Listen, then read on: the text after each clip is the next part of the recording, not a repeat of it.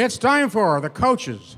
The coaches of Hayden Fry. The coaching tree, as per Hayden Fry, legendary coach Hayden Fry. I understand that these uh, coaches got to meet with Hayden FaceTime today, or earlier today, and uh, so they've all had their greetings from the, uh, their boss, Hayden Fry. At this time, I'd like to introduce the University of Iowa Sports Information Director Emeritus, Mr. Phil Haddy.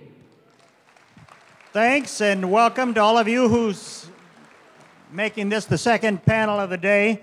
And we'll get them all up here, and then we'll uh, introduce them. The greatest coaching staff in the history of NCAA football. Come on up and sit behind your name.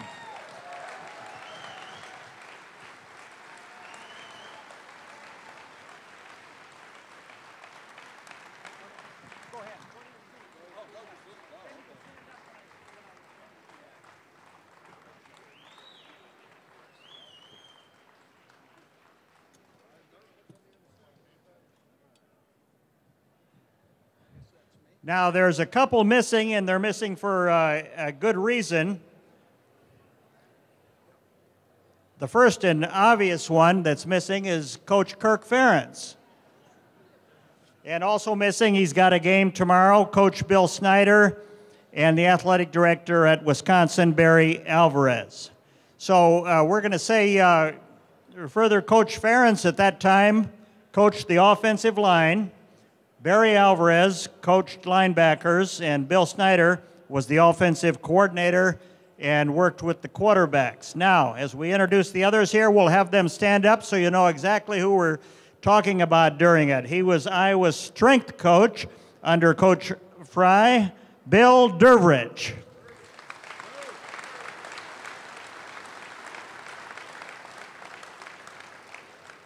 The defensive coordinator, and he worked with the defensive backs also, Bill Brashier, sitting on the end.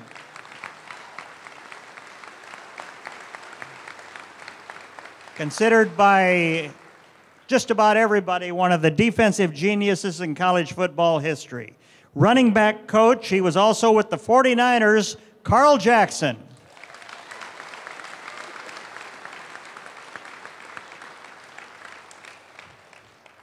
This guy was our defensive line coach. He coached at Iowa State, the junior college, a little bit uh, west of us, North Texas. A great coach, Dan McCarney.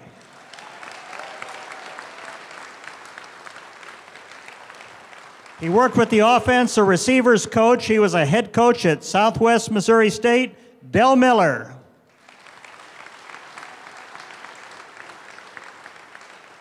The defensive end coach for the Hawkeyes, Bernie Wyatt.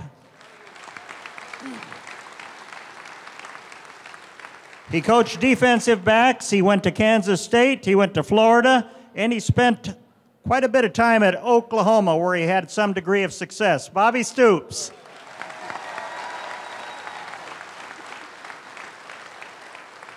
He was Iowa's tight end coach, a head coach at Western Illinois, Don Patterson.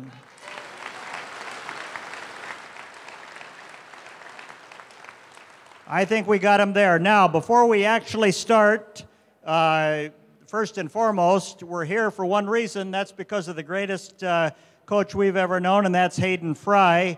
Couldn't be here, but he did send this message for these coaches and everybody, and I'll read exactly what he sent me. First of all, let me say to all of you how disappointed I am that I'm not being able to be with you this weekend. I underwent surgery earlier this week, and traveling back to Iowa City wasn't possible.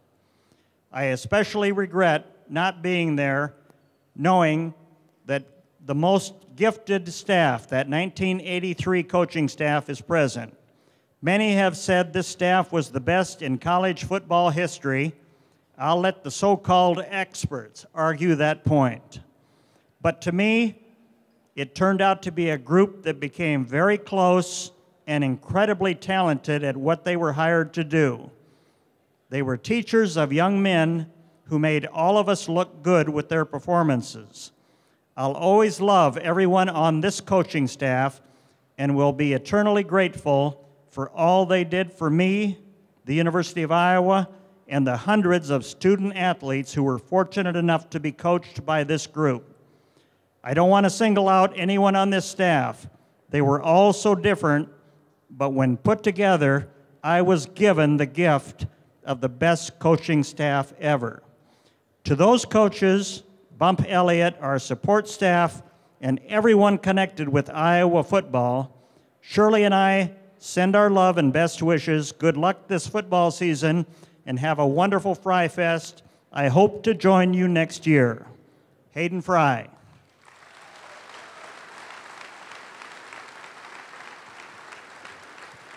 And Hayden is doing well, and uh, he's sorry he couldn't make it back. So uh, we're going to start this out, and we're just going to uh, go right down the line. First of all, you've got mics in front of you. Be sure and uh, hold them up close to you. And I want to, we'll ask a few questions after this, but uh, tell us your impressions of working with this staff and how you enjoyed or not enjoyed your time at Iowa as coach and your reflections of being with this staff and what you think back on right now. Just uh, a few minutes of your reflections. First of all, we'll go right down the line. We'll start with Bill Dervich.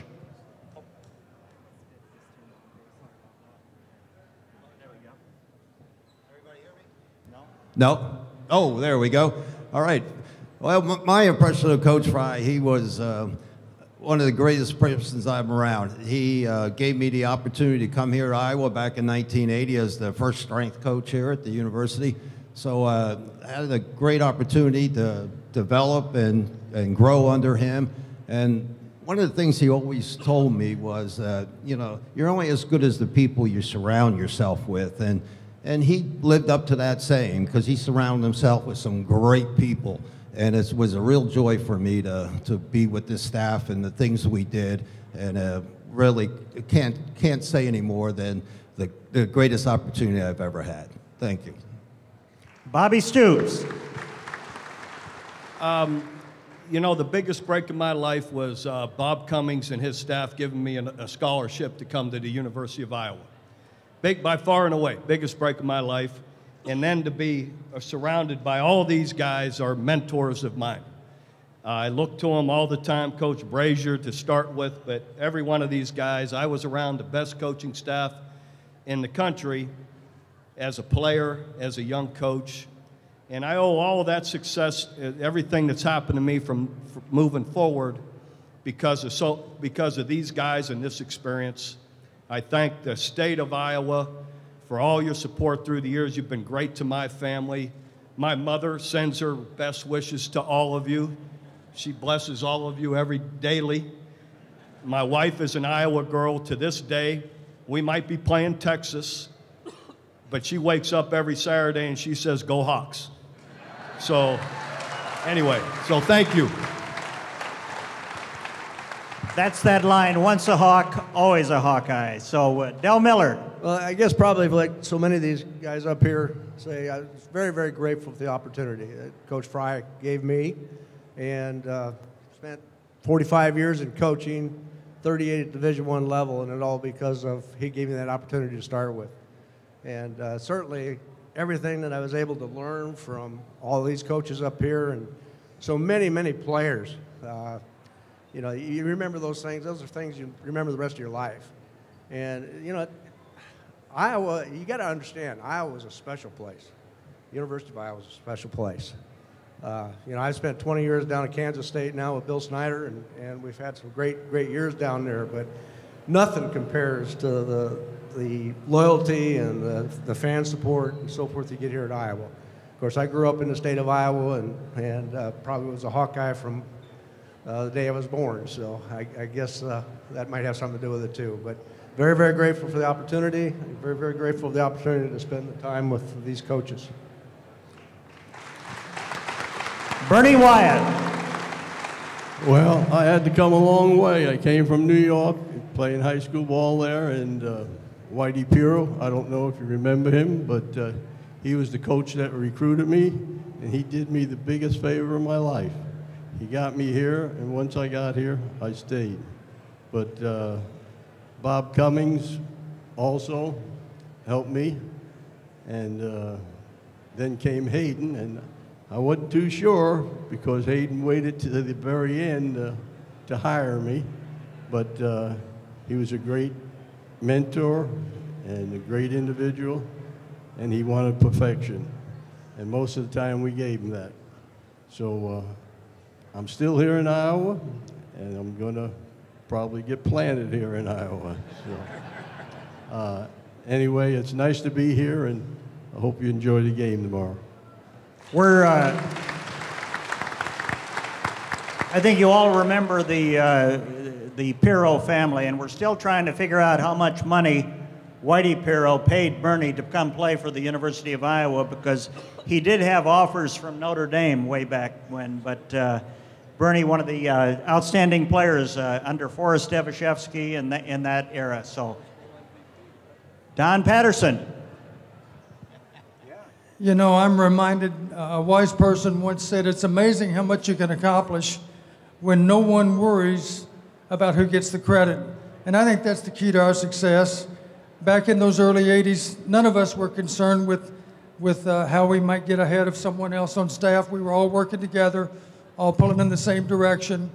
And that's how you accomplish great things. And most of you are already aware, but if you're not aware, I'm going to mention it now. To be able to go to Pasadena in year three, that is still the fastest turnaround in the history of the Big Ten. Something we should all take pride in.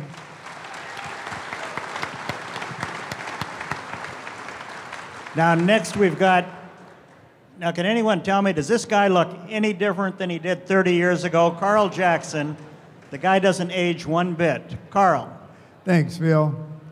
Uh, I was part of Coach Fry's first staff here at the University of Iowa. Uh, I was on his staff at North Texas, and when he asked everybody on the staff who would all come to Iowa with him if he took the job, everybody held their hand up but me. So he wanted to know why. I told him I didn't know anything about Iowa, and I didn't know anybody to call and ask. But coming to Iowa was, you know, one of the best decisions that I've ever made for myself and my family. Uh, Iowa City is very special, a very special place. I think my wife and my family all enjoyed themselves here. You know, I enjoyed it so much I came back for a second term. I came with Hayden and then I left, and then when Kirk took over, he offered me a job and we came back.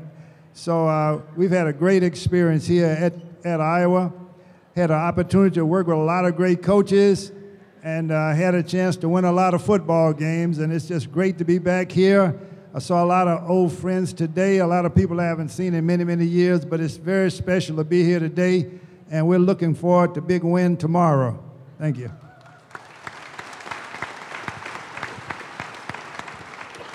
One of the greatest Hawkeye players and coaches, Dan McCarney. Thanks, Phil. Thank you.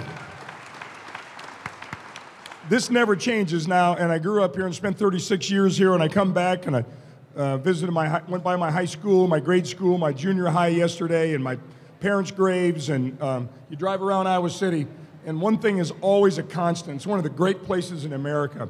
And if you've never lived here or worked here or spent any time in Iowa City, you don't get it. You don't really understand it.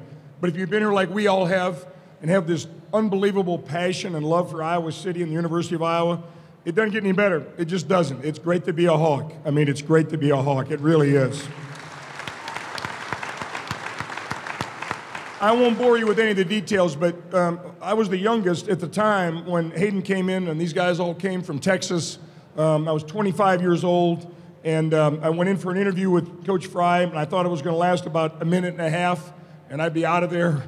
And uh, he said after about 15 minutes, well, Mac, what do you think about being my tight end coach for about $18,000? And I literally jumped off the couch. I jumped off the couch. And to have that opportunity and have that joy to come to work and be around these professionals that are up here and be some small part of the history that we made here together is something I'll never, ever forget. And I hope you won't either because these guys are unbelievable. I was in there listening to the Hall of Famers and Bob Sanders and, and Nate Kaeding, these guys that were some of the best ever pulled on a uniform. It, it's just such a joy to be related to and, and a part of Iowa football history.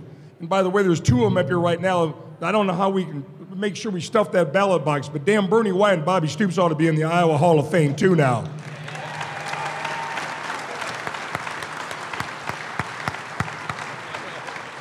And I appreciate that 20 bucks that both you guys gave me to get, say that tonight, too, but today.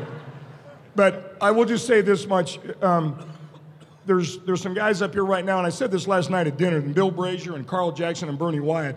You know, we all get a lot of recognition because of the opportunities we got. And Hayden Fry, as I talked to him a few days ago, one of the things he's so proud of is the 29 assistant coaches that got to be head coaches.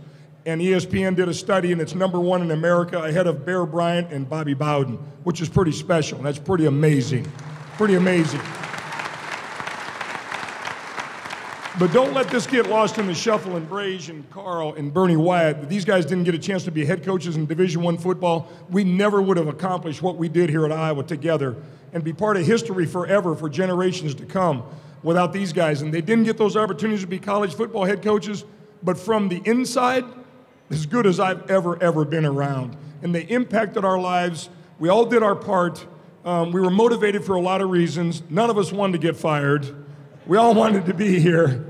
And yet, Hayden Fry did this for all of us. He set expectations, and then every day he inspired each of us to live up to those expectations. And I'm a better person, a better coach. My lifetime has been so enhanced because of the opportunity to be with the guys here at the table and the coaches that aren't here tonight. And you look at Barry Alvarez, Bill Snyder, Hayden Fry are already in the Hall of Fame. And there's two more slots reserved right now for Bobby Stoops and Kirk Ferentz, and they're going too. It's pretty special to be a Hawkeye. Thanks a lot. Now, this uh, next guy we're going to introduce here, it, it's, it's a pretty special uh, person here. He is a little bit older than Hayden Fry. He was born in the same hospital as Hayden Fry, in the same town, and the same doctor delivered both babies back then in Texas. So uh, that connection was from day one between Bill Brashier and Hayden Fry, and they were as close of friends uh, as friends could be, uh, and they are to this day. Bill Brashier, our defensive coordinator. Thank you. Uh, thank you very much. It's a great honor for me to be here, to be any place where football is played and coached, and with the great fans that that come to see the game on Saturday. So it was. Uh, I was so happy to be in that kind of environment for all my life, and to say that everybody should know that Iowa City is the best place to be if you want to coach football, play football, or be a football. Thank you very much for allowing me to be here tonight.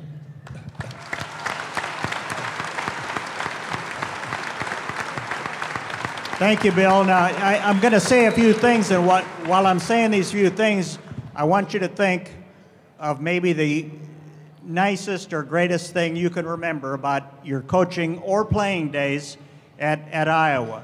The thing that you remember most and the thing you'll cherish most, or maybe the funniest thing.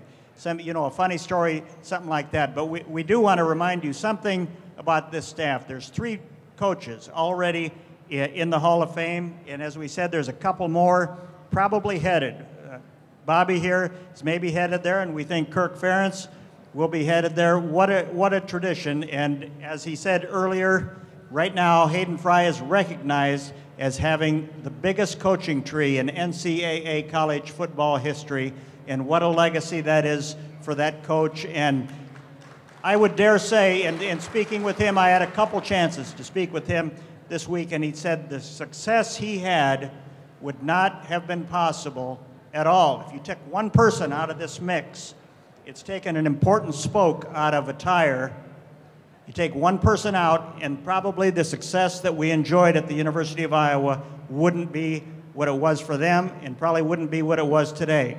But as a cohesive group, they were all great friends, and they all worked together, and you saw what happened and I remember way back when, when Bill Brashier told me after we went to that first Rose Bowl, he says, You better buckle up because we're going every year from now on to a bowl game. Not the Rose Bowl every year, but he was right too. So, uh, this staff, uh, Bill Durvich, tell us what, what's maybe your favorite uh, memory of working with Coach Fry or, and, and with this group or staff. Uh, go ahead and uh, just tell us what you think.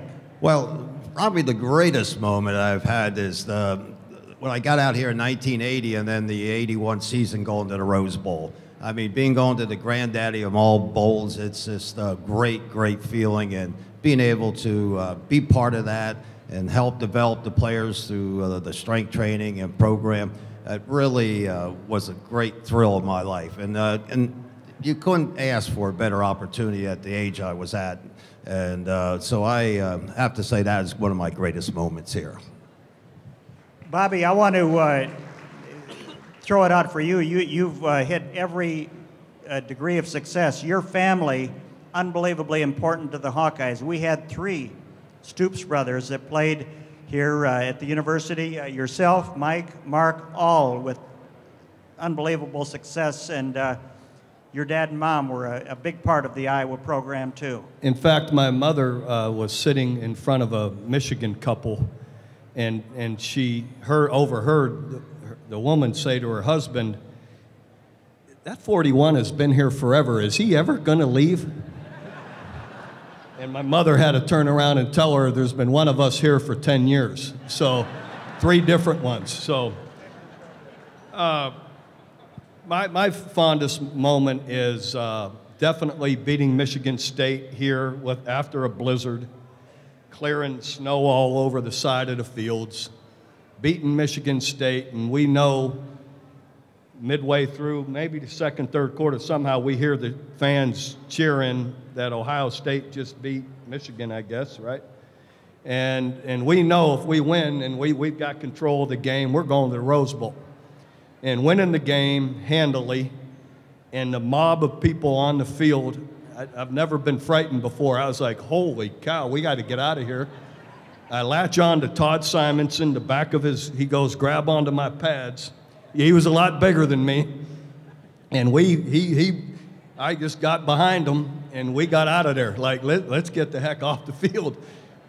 And the Roses in the locker room and going to the Rose Bowl after, been 20 years, right, since we had gone to a bowl game. And of all places, we're going to Pasadena. So uh, that was a, a, about as special as it gets. So one of my favorite moments of all time of any any games I've been been a part of. So and, and some of these younger people, these coaches will all remember this. We had a Friday night get together with the press, and we had bowl representatives there. And the bowl we were going to was the Liberty Bowl. We were all set. Everybody figured the Michigan Ohio State game was going to was going to go the way the favorite was supposed to win. And uh, we were all set to go to the Liberty Bowl, and all, all of a sudden, uh, the roses uh, started coming down. And uh, you're right, that's maybe, uh, it, in my years as SID, I said that was when I saw the president throwing roses off the top of the press box late in the fourth quarter. That and, was. Uh, the, and the celebration that night was pretty special, too. So we, we had a big time. there was a lot of parties going on, and I it was a 20 uh, party 20 years overdue or something like that. Del, go ahead.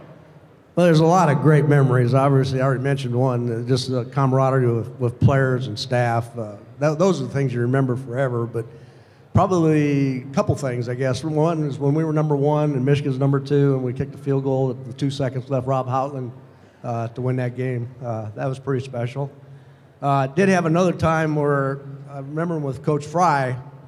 Uh, you know, when I after Bernie got done being recruiting coordinator, I ended up being recruiting coordinator, and and uh, he always had a rule: he couldn't talk to, about any of the recruiting to any of the you people, or donors or anything else. And so I was sitting in my office, and Hayden walks in, and so he's sitting on the couch, and Roy Carver calls up.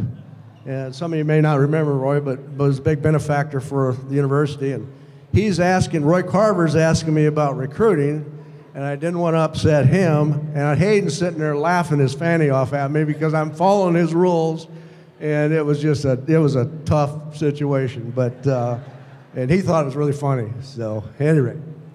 Bernie. You could usually break rules when it came to Roy, I guess. Uh, uh, well, you probably could, but I was doing, doing my very best to be loyal to Hayden. It depends. That's where my check was coming from. So, Bernie. Well, as I said before, the best thing that ever happened to me is to come to Iowa, and uh, I know I didn't make my dad very happy because I had a scholarship offer at Notre Dame, and you know they They have a great reputation, and it's a good school, no doubt about it. But uh, my dad never said anything to me until we went to the Rose Bowl and won. He said, You're smarter than I thought you were. but uh, that was uh, one of the best moments of my life, going to the Rose Bowl, and it's, it was unbelievable. And I haven't been back since. Now, Bernie, were you the MVP? Yeah, I was MVP. That, that would have been. Come on now. Come on.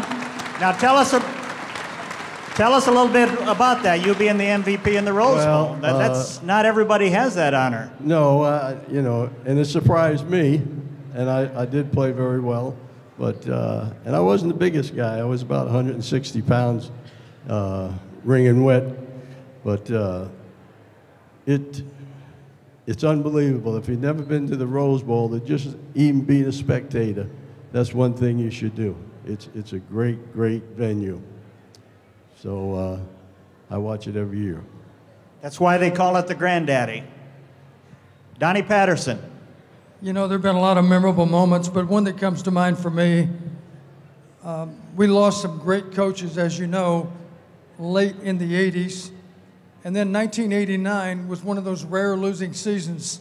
And there were fans that even said at the time, I think we might need a coaching change. It meant so much to those of us that were part of that 1990 staff. We not only bounced back, we bounced back all the way to Pasadena, uh, the third Rose Bowl trip in, in Coach Fry's 20 years. Uh, and then to go one step further from that, 1990 was a wonderful season, but one year later, we were actually 10 and 1, as some of you might recall. We lost only to Michigan. Michigan went to Pasadena, but I'll never forget what Coach Fry said after that, after that season. He said, The smartest thing we did is we never told them that they weren't that good. And there's a lot of truth in that. Those guys played better than what they could even imagine, and that's how you define great coaching. And that fall, we got that done to a high degree, no doubt about it. Carl Jackson. You know, it's pretty difficult to come up with, you know, one, uh, you know, incident or one thing that, that stood out in my mind. You know, I was very lucky to be on Coach Fry and Coach Ferentz's staff. And uh, I was a part of three Big Ten championships with Coach Fry and two with Coach Ferentz. And I guess at the time you don't realize how important it is to win the Big Ten championship and how difficult it is to win the Big Ten championship. So being a part of five Big Ten championships was pretty special, and that stands out in my mind. And uh, you know, like I said, winning the Big Ten is not easy, and I think all of us would agree to that. So that's kind of the thing that I remember the most about my time here at Iowa. Now, you probably already noticed we have to really get Dan McCarney pumped up because he's really got a he's got a lack of excitement about this staff in that. But can I tell you that's one of the reasons he was the great coach wherever he was that he was. So, Dan, you're up next. Yeah, li- listen, just two things, uh, and I will mention one of them that I'll, I'll never forget as long as I live. And uh, these guys probably remember it. We didn't even recall this one last night. But it's that same season, 1981. Magical, unbelievable, Brage. Um, I grew up sneaking into Iowa games. Um, unfortunately, I didn't get a chance to have any winning seasons or bowl games as a player, trying to give everything that I had, as all my teammates did, but it just wasn't right. The pieces weren't in place. The leadership wasn't here. The coach wasn't in place. And then all of a sudden, Hayden came in and brought the staff from Texas, and he retained Bernie and I. We got opportunities to stay here. That was really cool. But we're getting ready to play Michigan that year, Stoopsy, and that defense was unbelievable. I know there's been a lot of great defenses, and there's going to be another one tomorrow. I think a phenomenal defense here at Iowa. But uh, uh, whatever time we all have left on the face of the earth, that's one of the great ones that I've ever been a part of in 1981. I was a part of 20 some bowl games, a national championship at Florida. That 1981 defense, God, wow, unbelievable. And it, they took turns hitting people, and they took turns being violent, they took turns being vicious, and they took turns breaking rules the way they played the game, led by Bobby Stoops back there at safety. He threw more clotheslines than any uh, safeties that I've ever seen in the history of Big Ten football. But it was the attitude, the mentality. And we're getting ready to go play Michigan, and Iowa hadn't beaten Michigan in a long, long time. and we knew we were going to have to play really good defense. In the end, it was a 9-7 9-7 victory. But prior to that, behind the scenes, Coach Fry mentioned to us, if you guys remember, in a team meeting, I'm going to tell you what, whatever it takes, if I got to go out there at the 50 yard line and, and, and box Bo Schembechler and kick his butt to win that game, that's what we'll do. And meanwhile, we're all thinking, that may not be a real good idea, coach. I don't think you may want to do that. Just leave it up to the players. But we laughed and, and enjoyed it, and that victory up there in the big house was one of the great victories I was ever a part of, as, as all of us were. But it, it just it, it, spoke so well, I think, of the attitude, the mentality, and uh, somehow, some way, despite the outside expectations, it meant nothing to us as coaches and players. We were going to find a way to win that game, and we did. And, and the rest is history. Thanks a lot.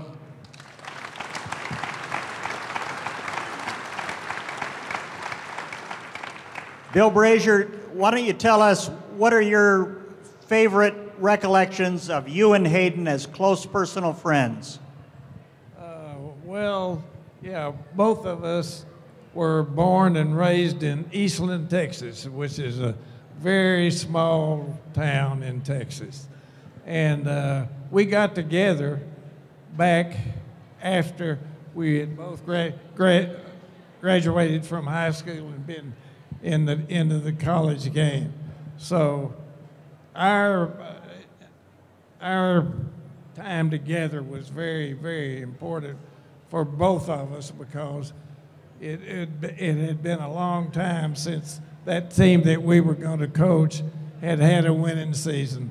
So that's my thoughts about Hayden, and I'll always thank him and, and for, for the privilege of keeping me on the staff when he came there and uh, what we did when he was there. Well, I will say to you that Hayden Fry said Hayden Fry wouldn't be in the Hall of Fame. This is what he said. He wouldn't have had any of the victories he had at Iowa were it not for his childhood friend, Bill Brashier. Yeah. So, Thank you.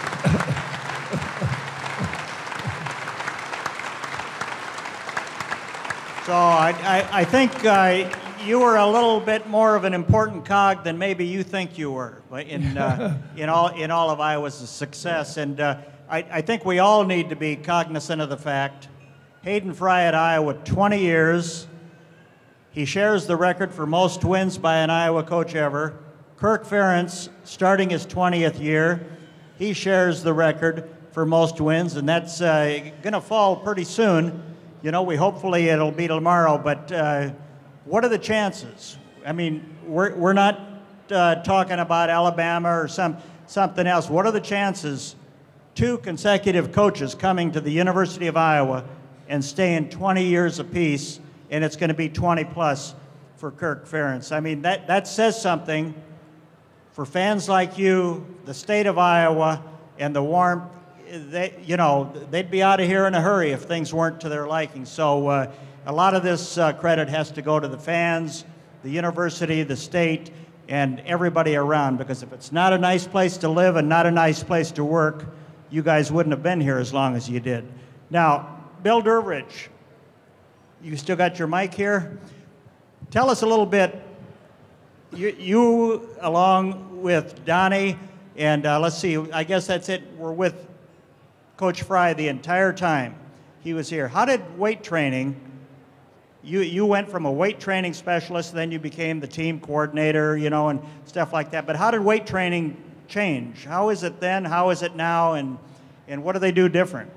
Well, I'll tell you what, they don't really do much more different things than we used to do. Uh, one thing is the weight rooms are a lot bigger than they were when I first got out here. We only had like about a 2,000 square foot weight room, and it was brand new. It was one of the top in the uh, Big Ten conference, and now today, what 10,000 is uh, small.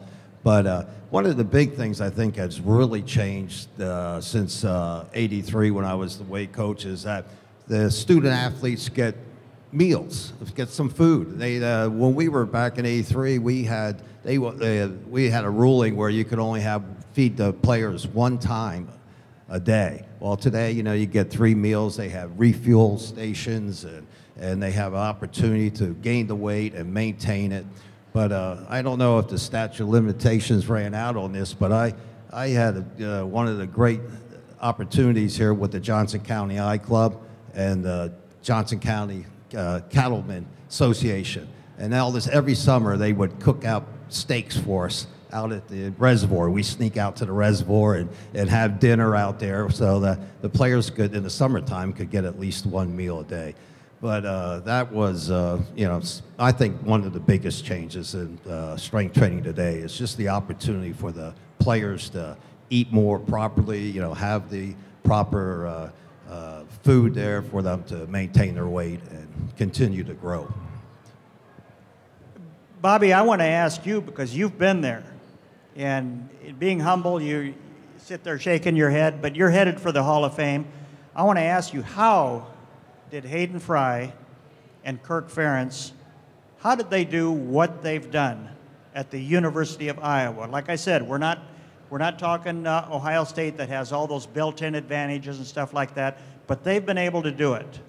Well, as you, you said earlier, and, and, and Kirk uh, being introduced by Nate Kaeding uh, in the luncheon just a minute ago, we do it right here. Coach Fry did it the right way, the correct way. Kirk does it the right way.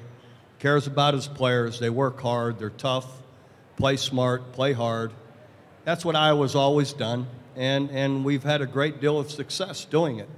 And uh, so I think doing it the right way matters. I tried to, to do the same thing at Oklahoma. I, I told my player or my coaches forever, look, I'll lose before I cheat or do it the wrong way. We're going to do it the right way, by the books. And I, I, you know, I know Kirk has always been that way as well. You know, and, and Coach Fry, you got great assistants, great people around you. You recruit the right guys that fit your program, and you win.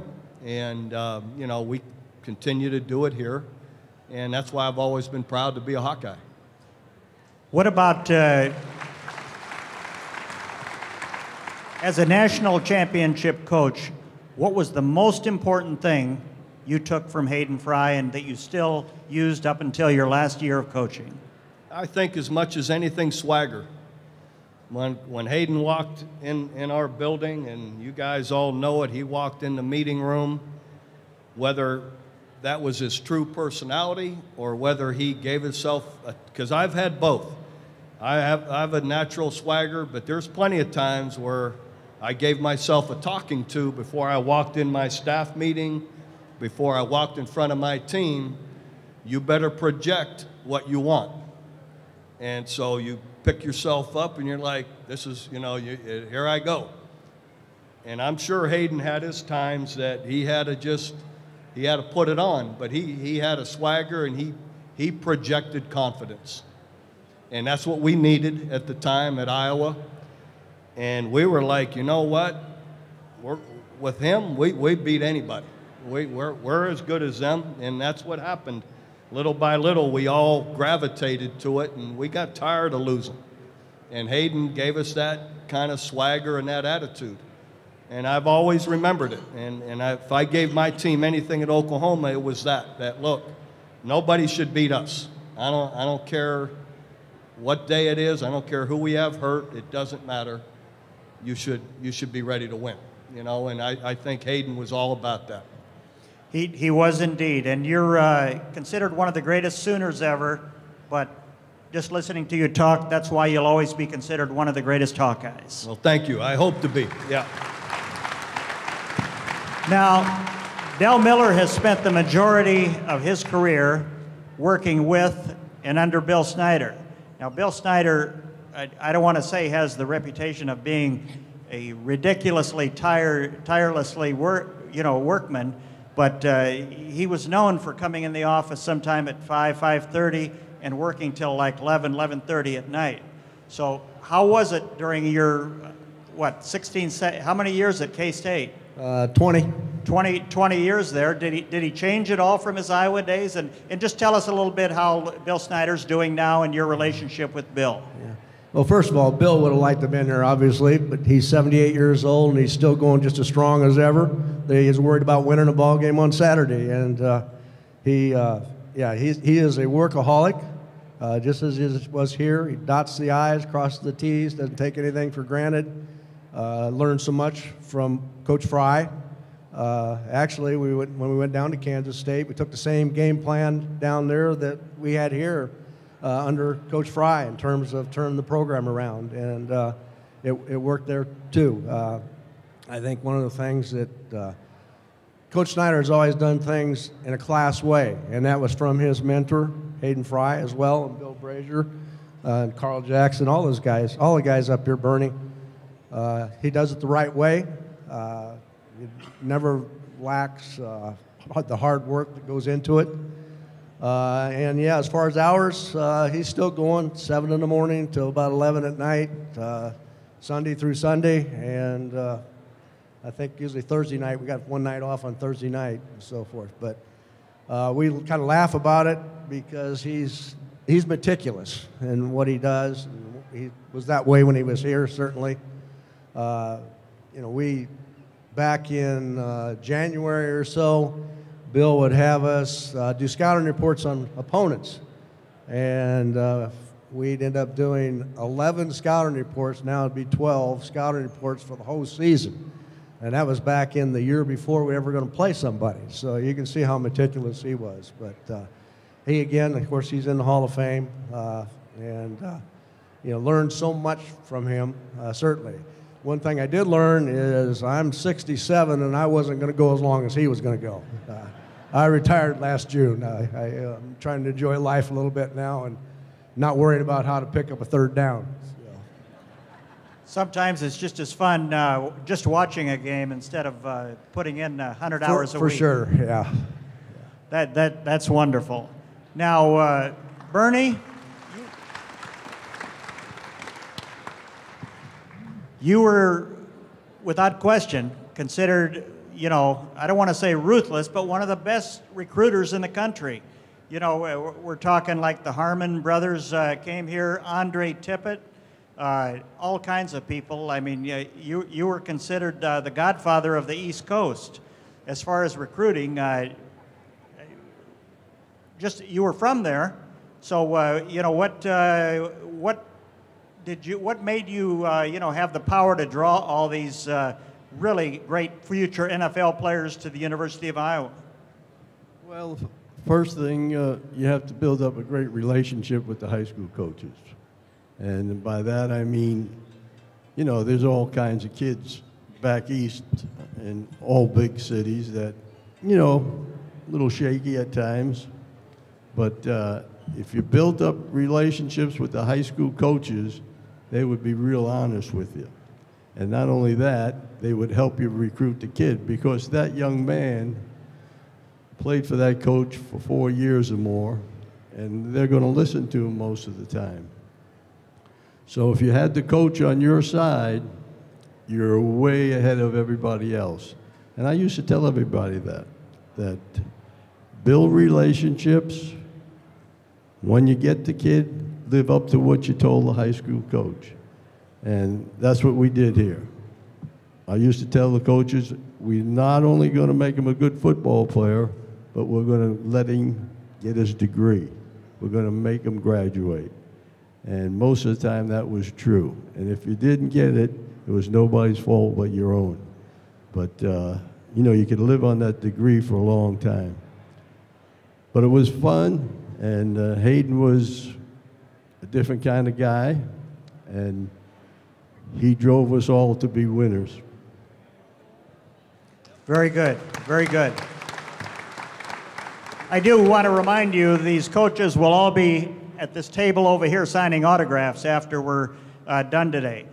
Don, you and uh, Coach Fry, both from a military background, and uh, I, I, could I knew that right away when you came in, and everything was you know yes sir, yes sir, yes sir, and all that. But how, how did your uh, military background help, you know, both you and Coach Fry, you think, with the University of Iowa football? Well, I was fortunate enough to go to the United States Military Academy, and one thing that West Point does, they teach positive leadership. And you think about it, I spent those years in the Army, and those were valuable years.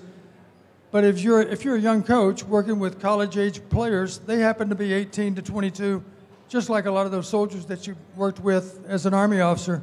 So really, there were a lot of a lot of parallels there. And the bottom line, you need to set a great example for those that work under you. You need to be sure they understand that you're going to work just as long as they are. I always told my players, if you have a problem late at night, please do not call my home because my wife will not appreciate it because I'm at work. Call me at work. I don't care what time it is. The odds are I'll be at work. And, uh, and I'll always welcome your call then, regardless of the hour. And the nice thing, too, and I'm sure these coaches are all just like I am, when those players graduated, I explained to them, you have a friend for life. So if you have a problem 10 years from now, I hope you still have my phone number because I'll welcome your call regardless of whether it's day or night because really these are, these are relationships that are, that are built to last a lifetime. And I have gotten some unusual phone calls in the middle of the night sometimes uh, through the years. But a lot of these young men, of course, they might not have a father uh, at home. And in so many cases, the, the position coach is really more of a father figure to them than their own father. And that's an awesome responsibility for all of us to handle, but it's one we took very, very seriously. The bottom line, we're teachers, we're just glorified teachers. That's what we are because but we teach young men how to become men. And that's when you win is when you convert young men into being responsible men. And that's our goal, always has been and always will be. And I think it worked. Carl, you had some of the really the greatest running backs under you uh, in, in, Iowa football history. Tell us, uh, you know, about a couple of your favorites and uh, what you enjoyed about some of those uh, running backs. Uh, that's true. I really had uh, the opportunity to work with some really great running backs, but also some great young men. And I think back to guys like Ronnie Harmon. Ronnie played in the NFL, but Ronnie was an outstanding running back for us at the University of Iowa. I don't think we really saw how great he could have been he broke his leg like his sophomore, junior year, and, and then he really never really regained the kind of speed that, uh, that he had had before. But, you know, guys like Owen Gill, Norm Granger, Fred Russell, it just goes on and on. We had a lot, Nick Bell was a big, good running back. So, you know, I had this, the, the uh, opportunity to coach a lot of great running backs here at the University of Iowa, but also a lot of them were, you know, they're great young men. And uh, uh I enjoyed that, you know. I think the thing that stands out in my mind a little bit as I look back over my career at Iowa, I came with Coach Fry in 1979, and uh, like we all said, Coach put some pretty high expectations on everybody. So, you know, that came with some pressure. So you, you work real hard and you, you know, you won a lot of games, but you really don't enjoy it as much at the time that it's happening because you feel like this is something that I'm supposed to do. And then uh, I came back under Kirk and uh, had a chance to coach under Kirk, and I, I, think I enjoyed my players just a little bit more. I took time to smell the roses a little bit more. And I, that's the thing that kind of stands out in my mind with, with, my 23 years here at Iowa. I just, my second time at Iowa, I just, I, I enjoyed it a lot more from just enjoying my players, whether they came to my house or whether we just had meetings where we would sit and talk about life. But uh, obviously, uh, coaching here at Iowa is very special, and uh, my wife and my family we, will always be Hawkeyes. We moved back to Texas about 10, well, eight years ago. But, uh, you know, if Iowa's game is not on TV and I, and I don't hear a score, that's the first score I look for, look for on Sunday mornings. But again, it's uh, great to be a Hawkeye. It's great to be back in Iowa City, and uh, it's just good to be here today. Thank you very much. Thanks, Carl. Now, Dan McCarney, when he first started here, I think we lost a couple years in a row to Iowa State, right at the, right at the beginning. Afterwards, we beat him that one time. And every year we played him, I'd go over to the football office and he'd be going up and down the halls. It's Cloney week.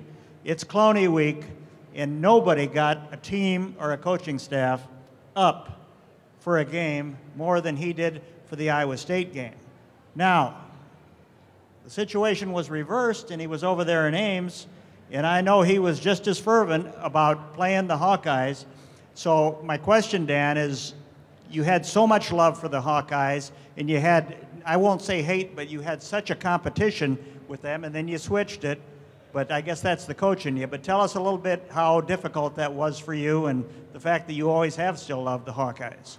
Well, first of all, you, go to the National Coaches Convention, as we all have many times, and there's over 10,000 coaches there once a year, different point places in the country. And uh, if you went and took a poll and said, listen, how many of you would like to have had the opportunity to coach at the University of Iowa or coach at Iowa State University, how many hands would have gone up in that 10,000? Most all of them, because they're two great places and two great universities. And I got a chance to be at those two schools combined for 31 years. So if I'm gone tomorrow and, and, and, and, uh, and I'm taking a dust nap for the last time, um, I got a chance to be here for 31 years at these two great universities. But I grew up in Iowa City. I grew up a Hawkeye. I got I, I fooled somebody with my film in high school, and I got a chance to come here on scholarship at the University of Iowa. And um, I'll always, always be indebted to this place. But one of the things that's real obvious, when you listen to all these guys up here talking at this panel, we never wanted to let each other down. I never wanted to let Hayden Fry down, who hired me, but I sure as heck didn't want to let any of these professionals and these first class coaches and people down. And so I went to work every day at Iowa, real motivated that I wanted to do something special for my alma mater in a place that I grew up singing that fight song and jumping over snow fences when I was six and seven years old, because that used to be the only security outside of Kinnick. Snow fences. Some of you older people might remember those days. And me and my posse would jump the snow fences to get in. And then I got recruited, and then I got the opportunity and the honor to come here and, and, and play at Iowa. And then Hayden gave me the honor, opportunity to coach. But as time goes on, then you never want to let people down. I never wanted to let Bill Brashier or Hayden Fry down because they gave me the opportunity to be the defense, defensive line coach here at Iowa. All this talent and all these real quality, first class people at this table up here, and Barry Alvarez and Hayden and, and Bill Snyder are not here right now. I never wanted to let them down as a recruiter, as a coach, as a person. And then when I got the opportunity to go to Iowa State, and that was the third place, Iowa had lost for 20 years. And then we just turned this whole thing around, and we were the story in college football at Iowa. And then Bernie and I left and went to Wisconsin. And people don't remember those days. It was 36,000 in Camp Randall. It was pathetic. It was a joke. It was, a, it was ridiculous. It was embarrassing. And then this fall here in October, when Nebraska comes into Wisconsin, we've got our 25th reunion of the first Rose Bowl championship in the history of Wisconsin football. It all goes back to what we learned here in Iowa City, Iowa, under the leadership of Hayden Fry. And then I got the call to go be the head coach at Iowa State. And uh, believe me, I had mixed feelings. I just wasn't sure. They were winless, they were a joke. Their, their, their history, their success, their lack of success, their facilities, their attitude, all of that stuff had been so bad. But as a young guy, what do you want to do when you get into this profession? You want to run your own program someday. And without the talents and the contributions and the abilities of everybody at this table, and the opportunity that Hayden Fry gave me, I would have never had a chance to be one of those 127 Division One head coaches out of 10,000. But I did, and I tried to make the most of it. And I never wanted, whether I was coaching against Iowa or anybody else, but especially my hometown and my university that I love so much, I just wanted people to be proud. And you could cheer against me or hate me or throw stuff at us or whatever. I just wanted people to be proud of the effort that I gave as the leader of that university. And then we went from pathetic and ridiculous and embarrassing to successful in bowl games and, and, and some bowl championships. And we did some things that never been done and went right back to the roots that I had and the contributions that we all gave and the things we did here together and the chemistry and the togetherness. And this thing that I learned a long time ago when I was young, and then I'll pass this on. Loyalty is one of those things that it's, a, it's one of those things, there's not enough of it today. You see young people that nowadays want to be entertained instead of challenged. We were all challenged by Hayden Fry. And then the loyalty that permeated under Hayden Fry's leadership, and you see it with Kirk Ferentz as the head coach at Iowa now. It's uncommon, it's uncompromising, it's unconventional, but it's the best.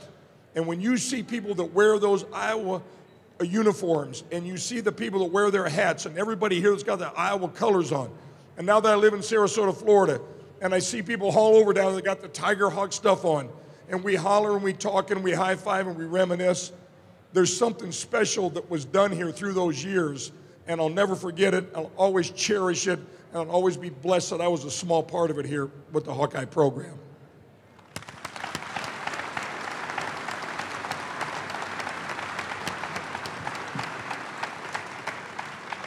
I think that's why we all feel we're all proud you were Hawkeyes, and uh, we're very happy to say you were our coaches. And, and I think, Bill, what's, what's the uh, final thing you could say?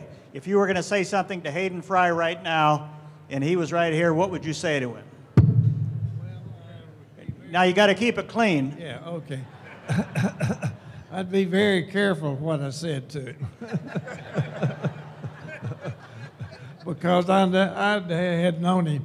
No, we grew up together as kids and all that kind of stuff, and I knew a lot about him, and I knew that I could uh, say the wrong thing around him, so I was always careful about that too.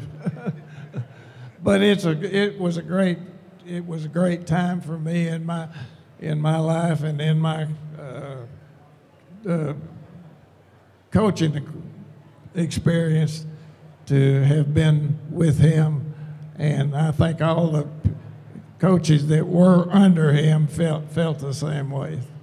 Well, that, that's wonderful, and I think everyone will join. Everybody uh, out there, Hayden said we'll leave it up to the experts, but how about everybody? Let's stand up and give it to the greatest coaching staff in University of Iowa history, right here. Thank you all for coming, and thank you for honoring this great coaching group.